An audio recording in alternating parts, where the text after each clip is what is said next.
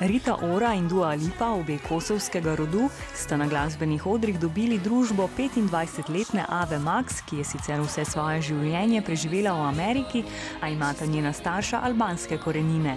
Video za njeno pesem z naslovom Sweet But Psycho si je na spletu ogledalo že skoraj pol milijarde ljudi.